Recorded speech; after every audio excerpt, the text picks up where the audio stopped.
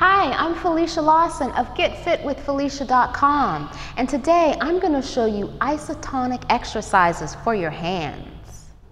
Working your hand involves a squeezing motion. You want to use a uh, small tennis ball or a rubber ball or any similar squeezable object that offers resistance. All you're gonna do is hold the ball with all five fingers and you're gonna squeeze as hard as you can.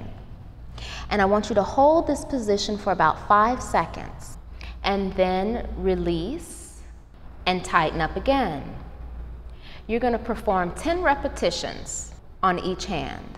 And I would recommend that you do this at least three times a day. And that is your isotonic exercise for your hand. Remember, you can do this exercise up to three times a day.